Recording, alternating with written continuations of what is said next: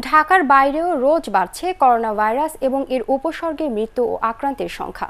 গত চব্বিশ ঘণ্টা চার জেলায় আরও ছয় জনের মৃত্যুর খবর পাওয়া গেছে।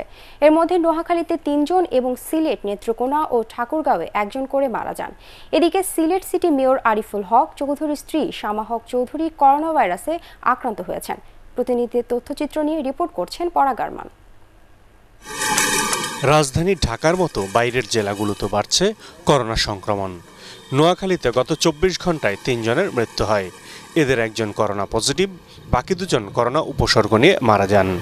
নোয়াখালীতে সংক্রমণ ও মৃত্যুর হার বেড়ে যাওয়ায় জেলা প্রশাসন, প্রধান বাণিজ্য কেন্দ্র চৌমোহনী বাজারে তৃতীয় দফায় লকডাউন করেছে। এই ভাইরাসে আক্রান্ত ঠাকুরগাঁও জেলা আওয়ামী লীগ নেতা রৌশন আলীকে রংপুর মেডিকেল কলেজ হাসপাতালে নেয়ার পথে মারা যান। আক্রান্ত তার স্ত্রী, পুত্র ও পুত্রবধূ। নেত্রকোনায় বেড়েই চলেছে করোনা শনাক্তের সংখ্যা।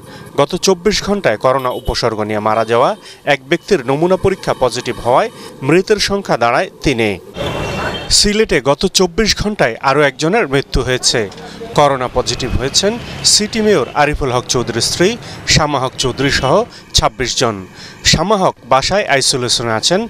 এ নিয়ে এ জেলায় এ রোগের সংখ্যা ছশো একত্রিশ। এদিকে গত চব্বিশ ঘন্টায় নারায়ণগঞ্জে করোনা ভাইরাস ধরা পড়েছে আরও একশো জনের। এ নিয়ে জেলায় আক্রান্তের সংখ্যা তিন হাজার ছাড়ালো। বরিশাল বিভাগে নতুন করে আক্রান্ত হয়েছে ডাক্তার, নার্স ও পুলিশ সহ ছিয়াশি জন।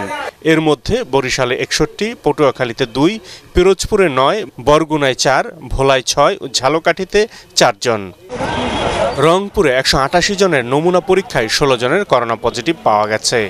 দিনাজপুরে একশো ছিয়াশি জনের মধ্যে চব্বিশ জনের করোনা শনাক্ত হয়। পরাগারমান এটিএন বাংলা।